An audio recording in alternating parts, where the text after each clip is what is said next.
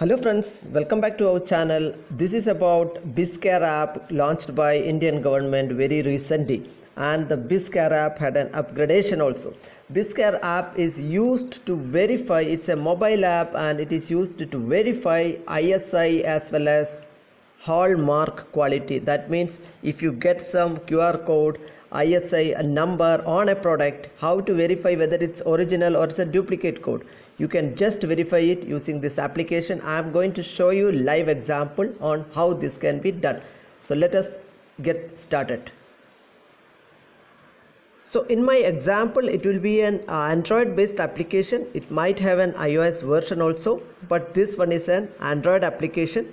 So as you know in android you have to open the play store and once you search for BIS space app the first option is the thing you are going to select here see friends uh, this is the BIS certified products app from the government. You just click there and click on install button here. This one is almost 30 MB and takes a little bit time. You can click on the accept button here and wait for it to get installed. Click on install button. It is uh, getting installed. Once it is installed just click on the open button. So friends when you open this is the first page and quickly uh, it will take you to the menu the uh, six options. Mainly we are going to explore two options which is what we are going to use mainly. One is the scan QR code option. And here I will show you live example of how to scan QR code of jewelries okay I just click on that option. It is asking for the acceptance of camera. I just click on never ask again so that it will not keep asking. Click on proceed now you can see I just pick from internet. This is a uh, company gold company. They claim that it is BIS they sell only BIS hallmark products and they have a QR code also. I'm just scanning the QR code but it says it's an invalid QR code. I'm just masking the uh, company information but make sure this kind of fraudness is there. Now i have gone to another company again from internet. You can get uh, qr code offline also from the company if you go there and here i am just scrolling down through the information and i go to the again the qr score uh, code of the company. And i just scan using the same application but it is identified. Now if you click on any browser it gets opened just like that. Just see this. It will take you to the link of the company okay and that means see they have all hallmark certification stuff everything they have given. And since the application is identified and qr code is also given there so you can uh, you can make sure that is registered with. And i am just going to another famous jewelry just randomly you can see here. They have a very good website very good a uh, lot of products. Let us see whether this is also a valid qr code in the internet i just search for the qr code. I got it here. Okay. Uh, so this is uh, online mode i am trying. I just show the qr code to the camera and this also get identified and it will take you to me. You can see here all the company details are there. So that means this company is also BS, certified and it is registered. So that is the reason app is getting identified.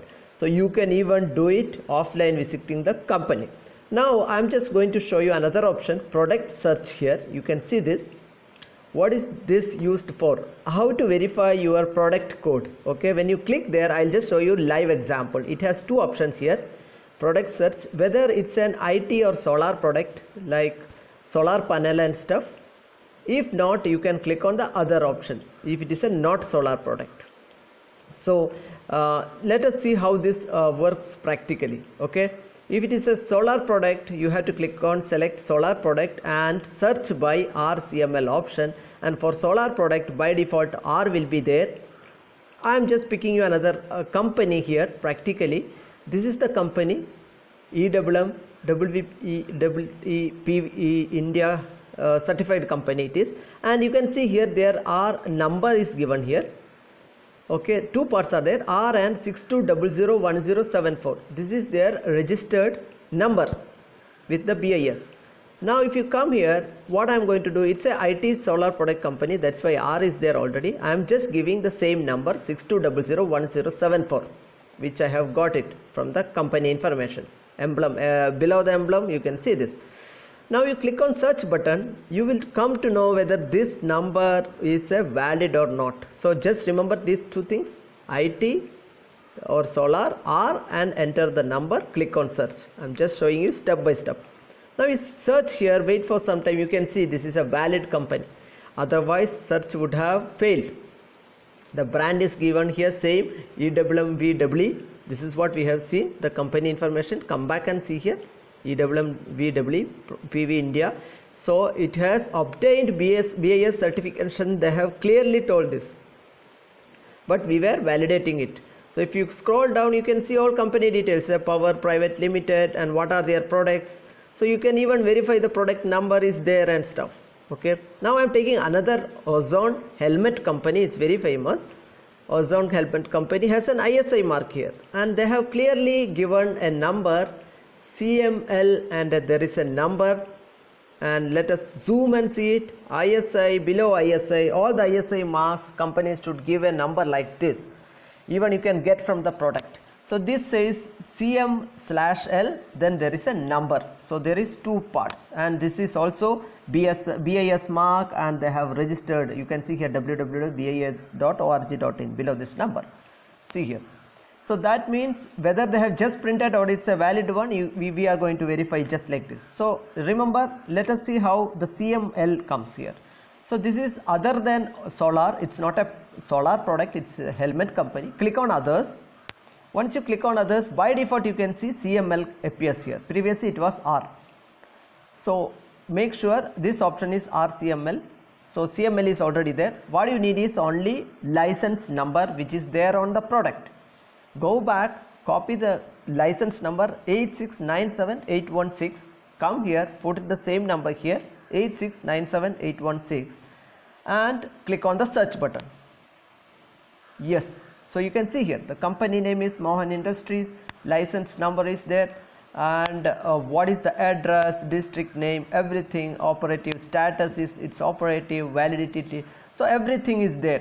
Okay? Also you can see here what is their product protective helmet for two wheelers Clear, clearly it is given. So this is how you can verify things. Thank you very much for watching. Please like this video if you like this. Also kindly subscribe to our channel. Thank you friends. See you with another video